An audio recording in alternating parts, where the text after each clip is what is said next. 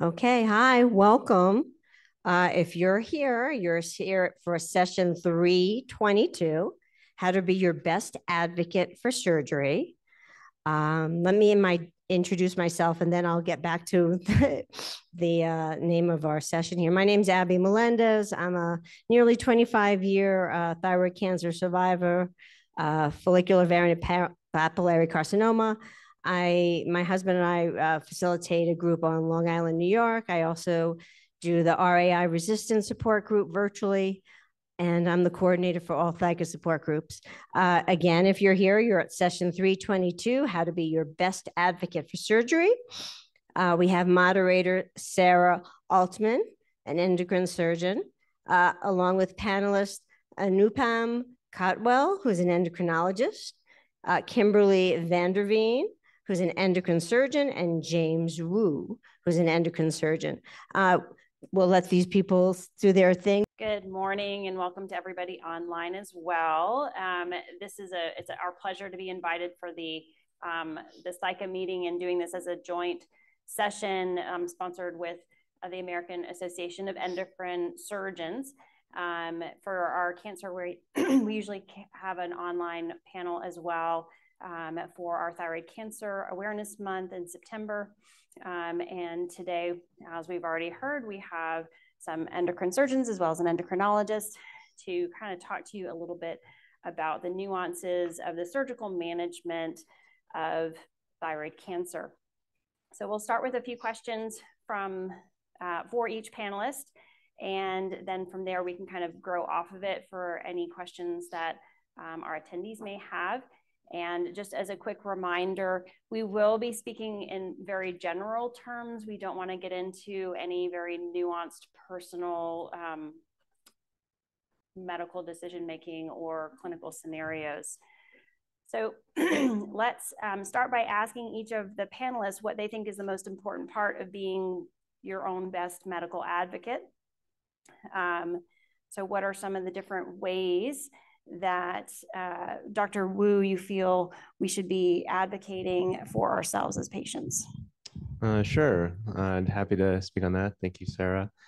Uh, so, in my mind, in how you be your best advocate, especially when you show up for that very first visit uh, with the endocrinologist or surgeon that you're meeting, uh, I think that it's really important that uh, you prepare for that uh, by writing down all of the different questions that you may have. And that's because uh, when you show up and we start with our own spiel, sometimes it's easy to uh, feel rushed and not get to all your questions. So having that prepared ahead of time is really important.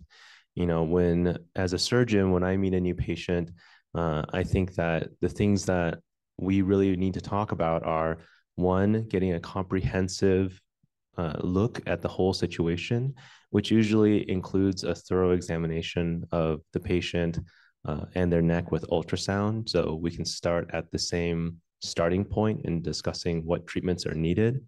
And just for patients to know that there's a wide variety of acceptable treatments uh, for the same kind of thyroid cancer. And many surgeons and endocrinologists may disagree on what is best.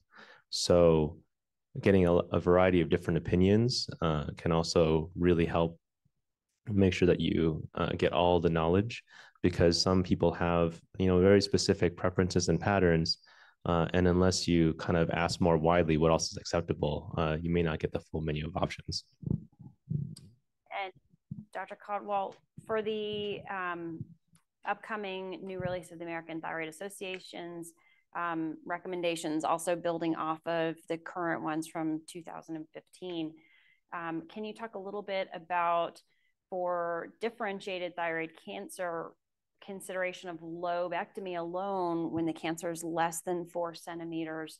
Um, how do patients decide whether that's the right thing for them to do a lobectomy versus a total? Yeah, thank you. Um, so, I, you know, the change kind of updates in the guidelines are based on studies that showed that small thyroid cancers do very well after they are managed by a lobectomy that is taking out that side where the cancer cancer was. Again i think before this decision is made you want to make sure that you have had a comprehensive neck evaluation of neck ultrasound done um, by you know uh, specialists with expertise in there to make sure that there is no lateral neck lymph nodes that have that have been missed, um, because technically there could be a small little tumor in your thyroid gland, but then lymph nodes that are large. So that whole you know you need a total thyroidectomy for that. Uh, on the other hand, there are cases where tumor actually doesn't look very concerning, but then there's concerning lymph nodes. But I think if once the it's been decided that the tumor is in a specific lobe um, and it's not kind of on the ultrasound, we don't see any concerns for it spreading out or extension. I think then it's a reasonable consideration. Um, there's a few things get go go into this, and I think this is where um, the the patients um, uh, kind of um, how much they know about their own decision and how kind of how much would they be worried about this. So a few things that we take into account is you know just taking one lobe has a lower risk of affecting your parathyroid glands and nerves um, but keeping that in mind that if you are going to an expert surgeon a high volume surgeon those risks are low in general um, the other thing is if there are nodules on the other side, um, sometimes it can be tough to monitor those. And if so, they're slightly concerning. Some people may choose to have the whole thyroid taken out. Uh, but if they're very low suspicion nodules that have been proven benign, then it's still okay to take out one lobe. Um, and then the third thing comes back as tumor marker, this thyroglobulin, which we follow. So if you have one lobe that still remains, then we really cannot follow it well. Um, so if you know, I ask pa- patients and kind of think of this myself. Like, if you're going to lose sleep over this, like, oh, maybe there is some tiny little thing on the other side. And if you're not going to be able to have a good quality of life, then maybe you wouldn't choose to have a lobectomy. But if you have a good team, you're going to follow up with regular neck ultrasounds, you have a small tumor in a one area, you've had good evaluation done, then I think it's reasonable to just kind of have a localized surgery with knowing that in the future you may need a completion or even after that lobectomy if there are features of invasion you may still need a completion uh, thyroidectomy um, so i guess those are things that go into it and sometimes it's not an easy decision. If a tumor is like three centimeter or 3.5 centimeter you know it's less than four but it's close by and then it's a little bit of a discussion a lot of it is depends on the perceptions and behavior of the patient and how they would kind of uh, deal with this after one side is taken out. Um, so some of those things, and I think uh, fortunately with high volume surgeons, you know, our risk of complications are not high. Uh, one thing I don't want to forget as endocrinologist, thyroid hormone, I didn't even, uh, so that's the, I guess the fourth thing with lobectomy, um, your risk of requiring thyroid hormone is less. It's not zero. Uh, most patients with thyroid cancer will require thyroid hormone replacement. So, you know, if your TSH is already kind of high normal, a little bit high, you probably will require thyroid hormone. And some people may choose to have a total if they know that either way they're going to be on thyroid hormone replacement. But we do know like getting completely uh, deficient in thyroid hormone, people do feel a little bit worse than if they're slightly deficient. So that's the other thing, you know, the whole thyroid hormone deficiency. And I, you know, if, if the patient feels that being completely deficient will impact their life a lot. On the other hand, they have a small tumor that's localized. I think it's very reasonable to then consider a lobectomy or resection of that side where the tumor is. Pardon me. Um, Dr. Vanderveen, as a surgeon, when you're seeing these patients in your office, what are some additional things that you look for technically to be able to help the patient? What's what other factors are there besides this just magic number of the mass itself? So again, that that staging ultrasound, um, the lymph node staging is really important for us to be able to make that decision. In in addition to, again, are there nodules or other concerns on the other side? Um, and again, what is their baseline thyroid function as we're talking about that? Um, I find a lot of my patients, their thyroid cancer was found on accident. Um, and so, again, this was a, a surprise. Um, and they may be dealing with other medical conditions that might um, play a role in, in how they feel and what their values or concerns are. Um, especially, I, I, see a lot of patients that maybe this was found during a breast cancer um, staging or evaluation or follow up. Um, and so I, I tell a lot of my patients when we're trying to decide, you know, do we just do a conservative approach, a single sided surgery, or take the whole thyroid out? Again, considerations medically of nodal staging, treatment plan and, and, whether or not we think we might want them to be a radioactive iodine candidate, um, local extension, or again, is it a contained tumor? And then baseline thyroid function, and then the fear factor. And so I, I go, how afraid of you are, be, are, are you of being dependent on lifelong thyroid hormone replacement? Um, which again, you might need a supplement if, if we even keep the one side but how afraid of you are that of, of the thyroid hormone versus how are afraid of you are uh, leading the other side in place. Are is that cause you concern at night? Can you sleep at night? Um, and the follow-up plan that comes into place. Um, and so again i see a lot of patients from rural locations that actually travel um, to see us for medical care. And so that's another consideration that comes into play of how difficult is it going to be to follow a residual thyroid? Um, do they have access to care? Do they have access to an endocrinologist in the region that they're in? And so all of those things come into play.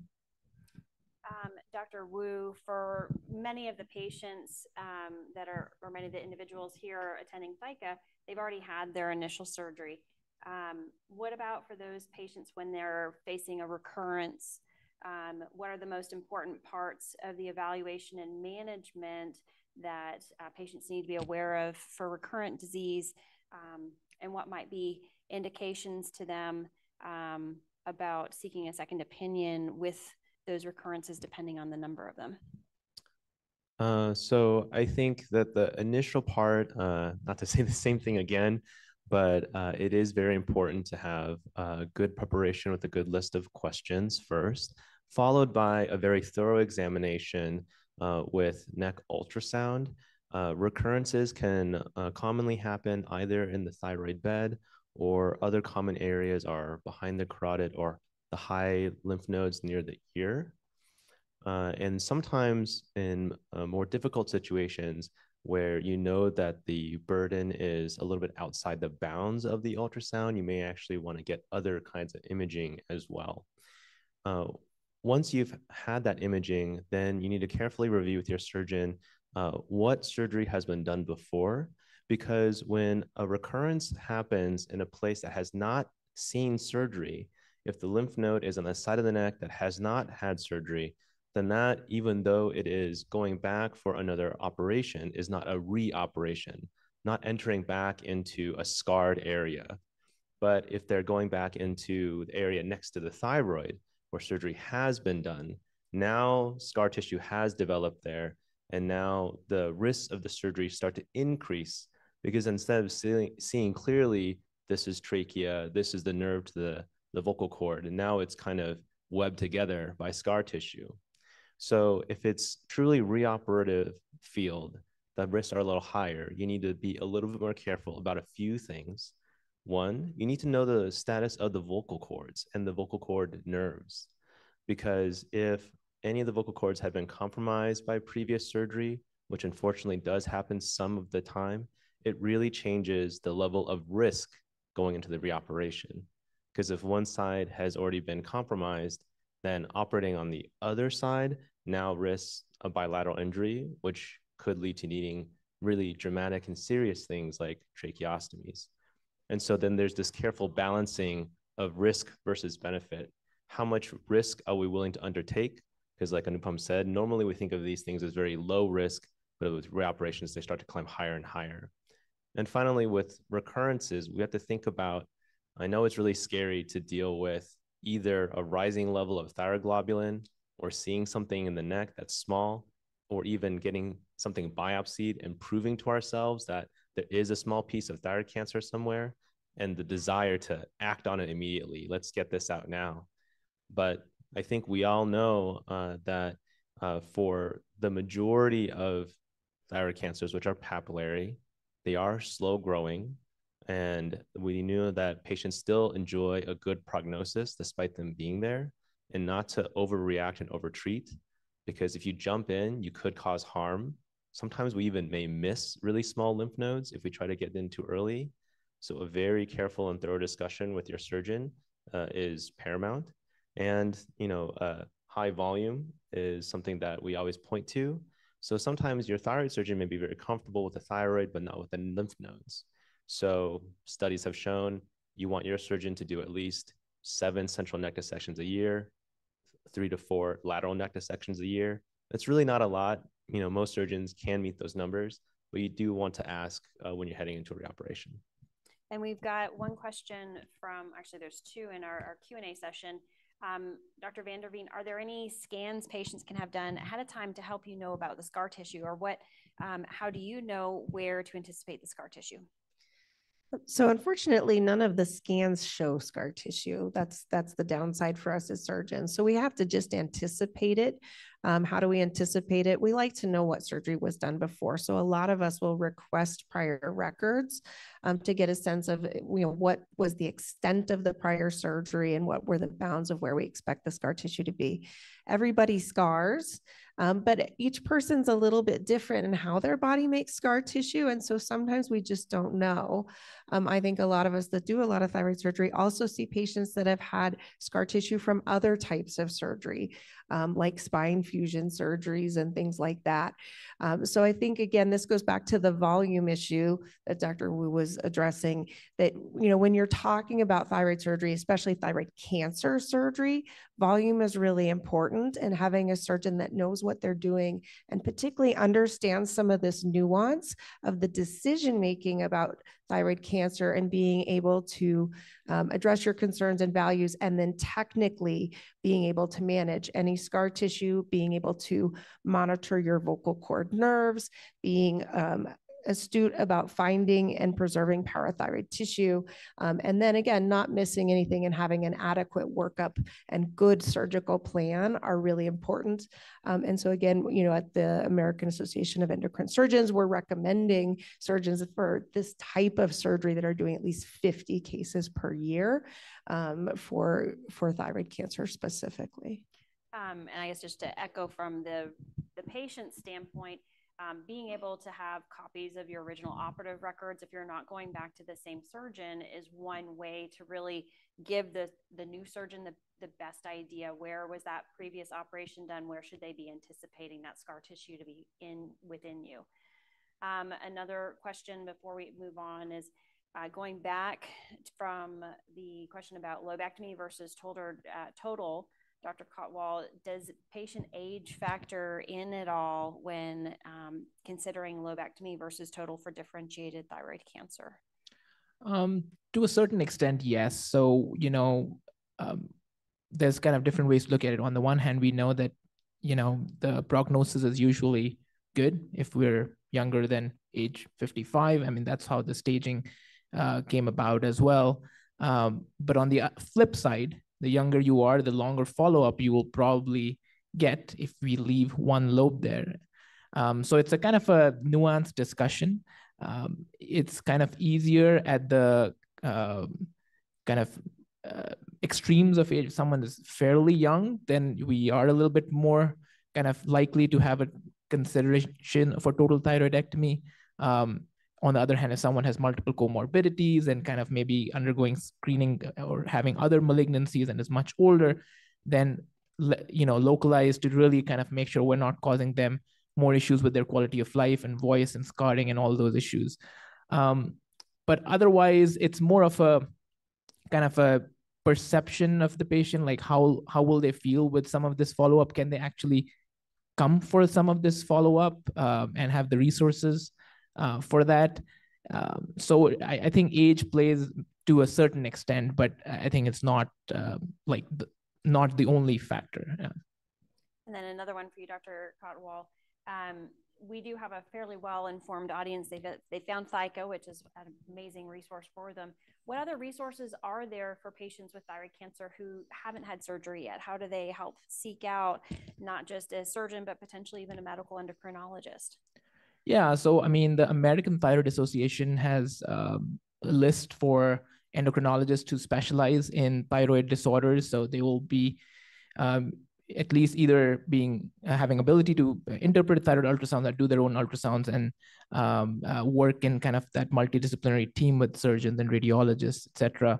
Uh, the American Association of Endocrine Surgeons has resources on that as well, and then of course um, uh, ThyCa, as we know.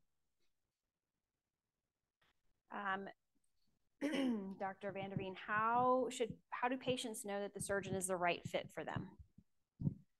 Um, well, you know, everybody's different. So um, I think really that's when you meet with your surgeon and you just decide is this somebody that I can have a trust relationship with? Is this someone that's listening to me? Um, is this someone that's addressing my concerns and answering my questions? Um, again, from the technical standpoint of, of just we've talked about volume being really important, that's a really good screening tool. Um, I also recommend patients consider having a second opinion and meeting meeting more than one surgeon and deciding who fits the best with them and i think that's true for the whole team because again as we say for thyroid cancer you know it's not one and done. This is a lifelong um, survivorship plan. And so you need to have a team with you um, that's going to address your concerns and answer your questions. So again i think being prepared when you come to that appointment having your list of questions and then meeting with the surgeon and saying is this a personality fit with me? Can i trust this person um, getting getting me through this operation? Because it's scary. Yeah. and dr wu both from a standpoint if you are seeing someone in a second opinion or your patient tells you up front, hey, I want to get a second opinion, what's the surgeon's perception of that? Um, I think many patients are a little bit scared of going that route. Uh, I think that um, you should never, as a patient, be afraid of uh, seeking out a second opinion. And I think that uh, any physician that you know seems upset or perturbed by you seeking a second opinion um, would be, I think, abnormal, and and I think uh, may not be, you know, looking out for you. Uh, so, but you know, the good news is, is I think virtually all of us, especially uh, within endocrinology, endocrine surgery, having uh, met many patients with thyroid cancer and treated them, that we're all very open to that idea. And you know, a thing that we should all know now is that with Zoom, with telemedicine, it's actually very easy for you to uh, look across the United States, look for other areas that you can just simply speak to uh, another endocrinologist, endocrine surgeon, just to hear their differences of opinion. Because believe me, there are wide variations in practice across the country, or sometimes even within an institution. Some groups will say we only perform total thyroidectomy. Some groups say we always perform total thyroidectomy and we remove the central neck lymph nodes. And so there's going to be a wide variety of opinions, and you kind of need to hear from all sides to help make the choice that's best for you. And you know, I think that most places are happy to receive and give those second opinions, and they will still encourage you to have surgery close to home. Uh, and so they understand that you know, sometimes just talking is the point of the visit. Um, and I guess just one thing to, to add, um, you know, if you're going to see a surgeon who's part of a large group, sometimes the group policy um, to prevent patients from doctor hopping within the same group is to not allow second opinions within that group. It's not that they don't want you to seek a second opinion, but it's more so as a collective group, we have a shared philosophy. And so you're not actually going to get a, a, different answer by meeting someone new from the group. Um, but we're, the group should still be very amenable to helping you find someone else in the area or region. Um, or these websites may be an additional option for you to find what's close to home. Can we have a question from uh, the audience here? Uh, you referred to um, American Association of Endocrine Surgeons and ATA as resources for um, finding your doctors. Um, what qualifies or what criteria do you have to meet to be in the American Association of Endocrine Surgeons? Um, so I think that uh, to be in the American Association of Endocrine Surgeons, each surgeon that would like to be a member has to submit for membership, which includes uh, documentation of your training as well as the number of endocrine cases you've done over a certain period of time. Um, I think what is on the horizon, which um, is not solidified yet but is coming, is something called a focused practice designation by the American Board of Surgery. And it, shared with the American Board of Otolaryngology as well. That's right. That uh, it's not going to be only endocrine surgeons, that otolaryngologists, also known as ENTs or head and neck surgeons, uh, will also be able to participate in that because again, across different hospital systems, sometimes all thyroid cases are done by ENTs. Sometimes they're done all by endocrine surgeons. We have another question. Hi, it's not a question, but it, and it's not surgery related, but it's relevant. um, and I would like to preface it by saying a lot has changed over the last quarter century, and unfortunately, a lot hasn't. And you've talked about going into appointments with a list of questions. And I went to my endocrinologist with a list of questions, and he rushed me through because he was afraid that I was going to take up too much of his time because I had a list of questions. So, yes, that's certainly a red flag to me to change doctors, which I did. but I would also, I'm very happy in, in our support groups, we will often encourage other members of the support group to do the list of questions. I'm very happy to hear the recommendation coming from the healthcare professionals. And I hope I can encourage you to find out if any of your colleagues are behaving the way I experienced and encourage them not to. thank you. No, thank you very much for that comment. I think the, the videos that we were watching last night, being able to see some of the um, the patient physician interactions and just see all the different ways that they can look is also very eye opening and um, a good a good example that um, we all are human and and have room for improvement. We have another question. More of a comment also is, you know, to come to the appointment prepared and at, you know, in the initial visit, I don't know what I don't know.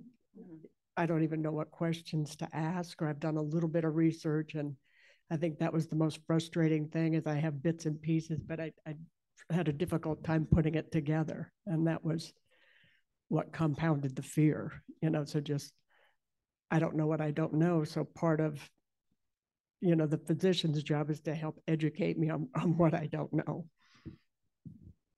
Can I just add, yeah, I, so I hear, you know, we're humans from the side of physicians and from survivors, caregivers, patients too. All of us have different personalities. So I think eh, usually I think, and all of us probably do this, like we would ask the person like, okay, what have you understood about, about this you know, if they were already been diagnosed with cancer, they're coming with a nodule.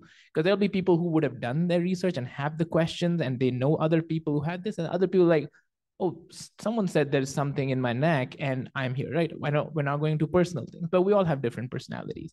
Or they may be overwhelmed by their other medical condition and suddenly this tumor has been found. So we want to start from there and then kind of build on that. Um, and uh, yeah, I don't think we always expect the person to come in all prepared, right? So yeah, that's. Um, and, and for anybody watching, I think that there are a lot of good resources, including I, have actually browsed through some of the ThyCa uh, brochures. The ATA has a committee uh, for patient advocacy education, and they make flyers about questions to ask provider when you meet, as well as some researchers. I know Susan Pitt is a very prolific researcher who has made a, a questions guide for patients. Uh, so those are good resources for patients looking to. I'm just going to add to that the piece too of if you can bring someone with you to your appointment, I think that's super helpful. There's good research that shows that patients maybe at best remember 50% of what was said in an appointment because a lot of times the appointments are rushed. It's overwhelming you're having thoughts and emotions and and then again your concentration may not be there for the entire thing. And so if you can have a second set of ears um, to, so that you can replay that um, some some physicians do not allow you, you to record their conversations and others do. Um, if you are going to record you it is common courtesy to ask first um, but I would encourage people, you can ask. Um, and a lot of us allow the patients to record the conversation so that they can play it back over again and hear different things the next time around. Um, or again, my patients will take notes sometimes.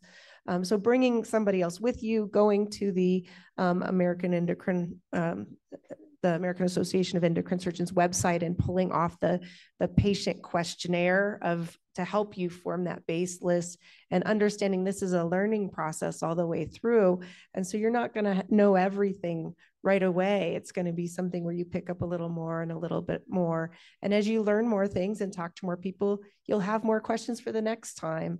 Um, and so we don't expect you to get all of your questions answered in, in one sitting. um, we know new things are going to happen and new questions are going to come up. Yeah, I, I just wanted to say, um, my husband always accompanies me and I do with his appointments as well. But I know that there are some times when, uh, I, especially during COVID, while it was really quite pro- prolific, I guess, uh, they had, people had, would uh, ask the doctors, could they call their significant other, you know, and do the FaceTime type of thing. My, my only other comment would have been, um, and I know this, I'm not talking about any of you, but there are some doctors who will say, Hey, it's thyroid. You got the good cancer. So please. And I know nobody ever said that to me because I would, I, I know I would have had something to say to them. But, you know, if you can speak to some of those people in, in uh, you know, in your fields and maybe they can learn, uh, reframe and say, perhaps it's, you might have a more treatable type of thyroid cancer, but that I, I, I'm, I believe I'm speaking for pre- pretty much everybody. So, uh, there's that. No, those of us that are involved in training, um, not just at the fellow level, but all along in the lower levels of the residency training and, and medical student training, do try to emphasize that, that the word cancer is a very powerful word and patients don't have this perspective of multiple different types of cancer experiences. They have their own, and especially when they're hearing that word for the first time, there's so many very powerful triggering emotions that come along with it. And to have someone so blatantly downplay that is is just wrong. Um, we have another question from the zoom attendees. When going back for a recurrence or persistence um, should patients have a different list of questions to ask the surgeon? Um, Dr. Kotwal, what do you think? Okay. Well, yeah. So I would kind of echo that, you know, there may be surgeons who've done a lot of thyroid or maybe very comfortable with that, but ask like how many times they've done reoperations, how many times have they, or kind of gone back on previously operated necks, um, lateral neck, etc., things like that. Um, with that, it also, I think the surgeon and then there's the team that kind of then will uh, talk about potential for radioactive iodine or depending on different cancers and extension maybe some local radiation uh, in some cases. So how does that team look? And usually i think surgeons who are have expertise in reoperating uh, or going into operated necks or lateral necks will probably be working with with those teams. Um, yeah um, I think when talking about going back for recurrent or persistent disease, um, again, making sure that we have really good staging information and really good surgical planning in place um, is really important. But I think really understanding which compartments that we're talking about that disease is in and what the risks are in those compartments, and then asking some really pointed questions about um, how do you manage or monitor my vocal cord nerves? And how, how do you find or protect my parathyroids in a reoperative setting? Um, and the the question of timing when um, because we have a lot of patients that we watch and wait for a, a, period of time of, of when is the appropriate time to go in. And that's a team-based decision about, do we need to do it now? Can we make some adjustments in thyroid hormone? Is this, you know, clinically stable disease where it makes more sense to wait and live with it than it does to operate and take the risk of those complications. And so i will give a, the mic back to you, Dr. Oltmann, and let you say what, what you would do as a surgeon as well. Um, I guess the other question, because um, I think we've been talking about reoperation and persistence. Um, let's talk a little bit about the situation of completion thyroidectomy, where we're going back in to potentially remove the residual, somebody's gone down the road of lobectomy, and now for um, what are some of the different scenarios they may have to go back in for completion thyroidectomy, Dr. Wu? And is that considered, would you consider that a reoperative operation in that case, or is that the situation you mentioned where it's sort of an untouched compartment? Um, so I'm going to start my answer by saying that there's a lot of gray in this. So please don't, I may disagree, even among us about when it is needed. Uh, so uh, the need for completion thyroidectomy comes up a lot, and it'll come up more and more now that we're doing uh, thyroid lobectomies for thyroid cancer. Uh, and oftentimes it comes up when we operate on indeterminate thyroid nodules when we're not sure if there's a cancer, and then we find one. Um, and so, what are the different things that come up that make us think, oh, this person may need a completion, and we start that conversation? I think there are some things that you, you look at and you say, oh, we of course have to do it. And there's going to be a lot of, well, maybe we need to do it, uh, but we'll have a conversation. But you know, what is the goal of completion thyroidectomy? When we do a thyroid lobectomy, it's because we're removing all of the cancer. And so now by doing the thyroid lobectomy, all of the cancer has been removed. So why are we going and trying to remove the normal half of the thyroid? Does it cut out any more cancer? It doesn't. But what it does do is two things. One, it allows you to give radioactive iodine, which is predominantly the reason for doing the completion thyroidectomy. Uh, and then number two, as was mentioned, is that you can follow uh, tumor markers, thyroglobulin, to see if the cancer is coming back. But usually people who have already made their peace with getting a thyroid lobectomy already made a decision that that wasn't the most important thing. So let's just focus on whether you need radioactive iodine. So we know that radioactive iodine helps when people are at the highest risk of recurrence. And that is when you have very large lymph nodes, which usually you find out, and you wouldn't have done a lobectomy for that anyway. So you find out the highest risk is when there's intense vascular invasion or when there's extra thyroidal extension the tumor is growing out of the thyroid. And you see that at the time of surgery, but you've already agreed upon a lobectomy and you didn't do the other side. After that, a lot of gray area. What do you do with a one millimeter lymph node that you didn't even intend to remove, but you removed it anyway? And now we know that a small speck has gone to the lymph nodes. What happens when you have a tall cell variant or a higher risk variant? In these cases, you need to have a very uh, intense discussion because there's not a lot of clear evidence that getting radioactive iodine will actually improve outcomes or give benefit. And so each patient can make a decision for themselves. Do I want to do the most or am I comfortable doing what is probably acceptable and not completion? These are big things to think about. One last thing, and, I'll hand it over, uh, is that the only other difference is that if you have a positive margin, which means the pathologist looks at the specimen and says, Oh, I see cancer cells on the edge. So then it becomes a question of, well, are there still cancer cells on the other side, still inside? And I'll tell you that even though that that sounds very clear, it is not clear. Because when you are using our device, which is called a cautery device, we don't actually cut with a knife, we cut with an energy device. It kind of burns all the tissue around. So the pathologist is looking at this lump of tissue, the edge is kind of burnt, and they're not really clear on whether there are cells that are still alive or not on that edge. And there's been a lot of studies talking about does margin status matter? And they don't all agree. So even when there's a positive margin, sometimes it needs re-review by the pathologist. Sometimes you need to talk to the surgeon. There's a lot of nuance in these discussions. Yeah, I think I'd echo that for sure. As far as the surgeon kind of knows if we're cutting through gross gross tumor to try to say something like the nerve to your voice and trying to balance that. Um, and so it's a little bit of a putting both parts together what was seen in the operating room and felt by the operative surgeon and how does that correlate or not correlate with what they see underneath the microscope. Um, changing directions just a little bit and it's going to match up very nicely with the new question we have in the chat. Um, so dr Kotwal in addition to surgery what other things should patients be thinking about long term um, as they start their thyroid cancer journey?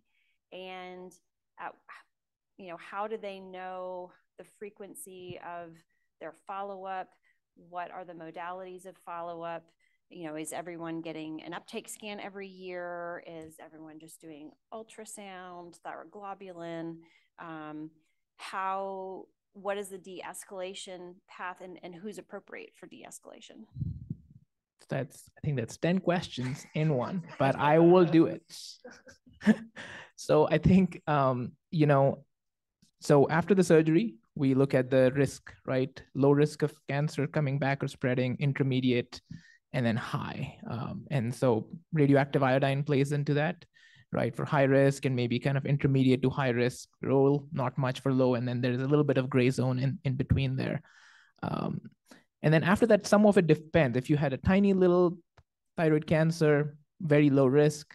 We actually don't do like much at until maybe three or even six months, uh, and probably would do ultrasound at that time. And um, really, there is not very frequent follow up. On the other hand, if you're high risk thyroid cancer, you got radioactive iodine, um, then yeah, then actually we check things at six weeks, six to eight weeks, three months, six months, yearly for them at least till five years and that's where the thyroid hormone replacement and the tsh suppression getting a little bit more thyroid hormone than you uh, probably require and all of those things play into play a role. So is that initial risk which we know usually after surgery and then how the behavior has been? So are the tumor markers going up? Is there small little things that we're seeing in the ultrasound or the tumor markers have not even been measurable and we neck looks perfectly clear? So then we can start kind of spacing out those follow-ups. For the lowest risk ones, um, sometimes we would alternate ultrasound and checking the tumor markers if it's been a few years and was a low risk cancer, or even after five to six years, high risk but treated well and you know excellent response, then we could start alternating that tumor marker and ultrasound at some point. And this again, we don't have a lot of good data on this kind of long term. Uh, at some point, we probably may just go to uh, blood test, tumor marker testing. Um, but so I, I think it de depends on your risk and how the behavior has been. Um, I think the team uh, is important. That usually those follow-ups are done by endocrinologists, but sometimes by surgeons as well. So you want to know who is going to do this, and is this endocrinologist someone who's and I I mean we all start as generalists and then kind of get specialized but what all are they doing how frequently are they monitoring thyroid cancer patients or is it kind of one person in their large panel uh, and it may depend you know if you're 10 years out maybe it doesn't matter as much. At some point they could also go to a primary care. Uh, but maybe early on when uh, those discussions of radioiodine et cetera are happening uh, you want to keep that in mind. Radioiodine scans we usually do not do them unless the tumor marker is rising and our imaging is not showing much. And then we're trying to find is there some disease that is not showing up on kind of CAT scans and structural imaging, but it's not kind of standard. It used to be a little while ago before I guess I trained, but it used to be. Um, so things are changing as well. Um, and so you want to kind of be seeing a team that is aware of the advances that are happening, the studies that are kind of coming out showing that not everything that is a little bit positive may be concerned for kind of going back again in the neck. Not every small little lymph node that looks slightly concerning needs operation and probably could be could be watched also or things like that. I always digress a little bit with from the questions. I hope it is it is a little bit on track, but I guess that's what I would say. No, I Did I miss something? No, I think that um, covers all of it. Um, going on Dr. Vanderveen, when for recurrences, they can happen in different parts of the body. So, what types of recurrences are appropriate to go back to the surgeon? What types of recurrences are appropriate for discussion discussions on another round or an initial round of radioactive iodine, or for some um, extreme cases, external beam? Uh, so I'm going to say it probably varies a lot um, by you know where you are in the country of who's following your thyroid cancer. Um, and so in some areas of the country, your access point might be your endocrinologist. In some areas of the country, it might be your surgeon that's following you annually or doing this, this follow-up regimen for you. So I think it just depends on where your point of access to care is. Um, I think when you're starting to make decisions about a, an additional round of treatment, regardless of what that is, whether it's an additional round of um, iodine, whether it's a diff- additional round of surgery. Um, you want anybody that's got an interest in that involved in that decision making. So again, if there is structural disease, meaning that we're seeing lymph nodes or tumor that we can visibly see on imaging studies, you probably want your surgeon involved, at least in the discussion of is surgery an option or not, and the location and the risks of what that would entail, um, and your medical endocrinologist involved. It doesn't make sense um, at this point in time to treat this? Do we do iodine? Do we do radiation? And so I think location, location, location, um, really important. And then behavior pattern of what's going on. And, and then again, it's, it's a pretty great discussion. I think that's very individualized to your, your particular situation, but um, start with wherever your access point is, and then the team should, should kind of regroup around you. Um, for distant metastases, what are the treatment options um, usually for those types of recurrences? Uh, so uh, for distant metastases, I think that uh, for differentiated thyroid cancers, that we always consider whether we give additional radioactive iodine. Now we have to understand that each patient has a limited amount of radiation they can receive in their lifetime. So we kind of have to be measured in when we give it. Uh, once uh, tumors have uh, gone beyond being, uh, uh, they become resistant to the reactive iodine or people cannot get more, then there are targeted medications. Uh, they're called TKIs, tyrosine kinase inhibitors. But these medications we know slow the growth of the thyroid cancer, but they don't really do a good job of eradicating what is there. Uh, and so we tend to not give that right away when there's distant disease, but rather we wait until there's signs of uh, rapidly increasing velocity of growth. And we decide as a team when to do that. And as Dr. Vanderveen said, um, you know, depending on where they're happening, how many spots are lighting up, you know, some areas may be amenable to surgery, some may be amenable to uh, radiation, as you mentioned. Uh, so the most important thing is having this multidisciplinary team, a whole team of people who are specialized in looking at the thyroid cancer, kind of giving an opinion. And uh, this, these situations, which are more rare, uh, this is when a really high volume institution becomes really important. A place that has access and knowledge of clinical trials, um, a place that has access and experience treating with TKIs, uh, or even more experimental things like immunotherapies. Um, so we have about 12 minutes left in our session. Um, so just for anyone who is on Zoom, please keep entering those questions in the chat box under, pardon me, not the chat box, but the question and answer. Um, is there any other questions from the room at this point? Um, if not, I guess Dr. Vanderveen, is any last thoughts from you about that you think are relevant to our discussion uh, today? I'm just going to go back to the ad advocacy piece because that's the, uh, the title of our talk. Of course, again, I think I really love ThyCa as an organization. And even as a provider, I sometimes learn what's new or what's going into clinical trials um, by the updates in the news that I get from the ThyCa website. Um, so again, I think this is a great entry site. I think the um, American Association of Endocrine Surgeons has really great information. That's endocrinediseases.org, great patient information. Mayo Clinic site has great patient information. American Thyroid Association is going to be where you find all your clinical guidelines if you're at the type of patient that wants to look more at clinical guidelines, but there are so many good resources out there um, to educate yourself and at least start the process. And as you do that, you'll have more questions. And so then start writing those down so you can bring those to your team um, because your outcome is going to be better if you understand your disease, you understand the goals of treatment, and that you and your providers have um, are in alignment um, on the goals of care um, so that you're all looking for the same thing. And then with reference to the guidelines, I know um, I think we had been expecting them to be out this year.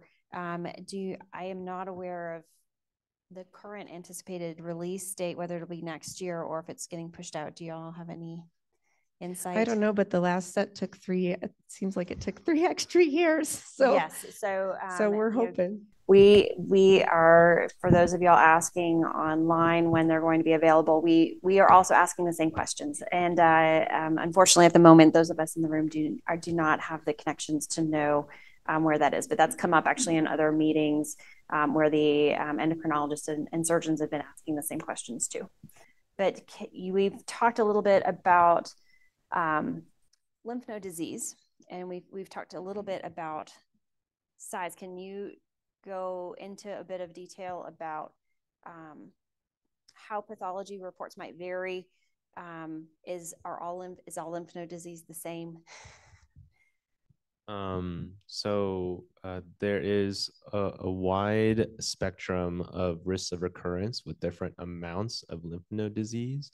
Um, one very curious thing about thyroid cancer is that, um, sorry, this is going to be a little bit story, but there was a big practice in endocrine surgeons where we used to all always, or some would always remove the central neck lymph nodes. They said, well, oftentimes we find little pieces of thyroid cancer in the lymph nodes next to the thyroid. Just to be safe, let's just take all those lymph nodes out. And for a while, that was common practice. There was a big paper published in 2014 where they compared this. Half of patients got those lymph nodes removed, half did not. And in the half that did, they looked through all those lymph nodes and they found little pieces of papillary thyroid cancer in nearly half of the patients that they removed the lymph nodes in. And yet, when they looked at the long term outcomes of both groups of patients, patients who kept their lymph nodes versus those who did not, their outcomes were exactly the same. So, what did that teach us? It teaches us that it is very normal and very common to have very, very small pieces of thyroid cancer in the lymph nodes that actually does not impact your clinical outcome. And by going after them, you increase risk of complications without providing a benefit. Now, of course, on the other side of the spectrum, if you have very, very large lymph nodes, three, four centimeters, of course, that adds a lot of risk. But what I would say is this, is that the path report um, is one piece of the puzzle, but in thyroid cancer, we need to broaden how we think about time. That in other cancers, you make one plan, you stick to the plan, and you do the treatment in that small time frame because they think that four to six months is all the time we have to act. In thyroid cancer, the time horizon is much longer. And one concept we don't talk about a lot is response to therapy in thyroid cancer. So even if you are ATA intermediate risk, ATA high risk, if you get checked on six months after your treatment and we see nothing on ultrasound, we see that your thyroglobulin has gone to zero if you've had a total thyroidectomy, and you get placed into an excellent response category, your risk of recurrence is not the what we told you at first 40%, 60%. Now it's 2%. Now it's 14%. And that is a very unique thing to thyroid cancer. So I encourage all patients when they're nervous about these things that you know, just give it a little bit of time. If you don't know if you need reactive iodine, just let's check a thyroglobulin. It might be zero after the surgery. And then what are we treating? So there's um, a lot more time. And I guess we've talked a lot about the the medical team that takes care of you for thyroid cancer, but there are other doctors that are t- technically part of your care team that you never see, and that's the pathologists. And the pathology for thyroid cancer, especially for the more rare subtypes, um, is very nuanced. And um, not all pathology reports are the same. I was just looking back at reports from several years ago and was from outside of the system where I work, um, where the report just simply gives a number of nodes, number positive, number negative. And that's inadequate to tease out this nuance we're talking about that um, ideally they really should be saying what's the largest size of the tumor deposit in your lymph node and the, of all the ones that are positive and that really gives us a scale of the what's called the disease burden, how much cancer actually has escaped into those lymph nodes. Um, and so that's where, you know, many of your path reports may just simply have the, the number of lymph nodes and not actually any mention of the size of the lymph nodes that were positive. Um, it's also making sure they're giving you the size of the cancer deposit and not just the lymph node, because those are two very different things um, and they have different treatment implications. And so, you know, you can always ask for a pathology re-review as well. It can get sent elsewhere for them to try to get that information too. But the pathologist, both with your initial biopsy and your final pathology, are just as integral to your treatment team as your surgeons and your medical endocrinologists. There are no more questions, and thank you so very much. Have a great rest of your afternoon, and uh, thanks for being here.